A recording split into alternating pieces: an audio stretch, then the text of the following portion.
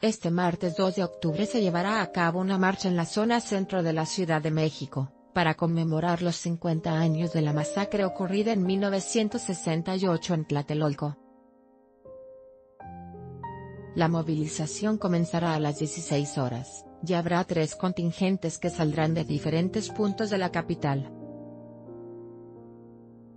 Sociedad así conmemorará el IPN los 50 años del 2 de octubre. El primero saldrá de la Plaza de las Tres Culturas en Tlatelolco, tomará eje central Lázaro Cárdenas y Avenida 5 de Mayo para llegar a la Plaza de la Constitución. El segundo contingente saldrá del casco de Santo Tomás, avanzará por Puente de Alvarado y Avenida 5 de Mayo.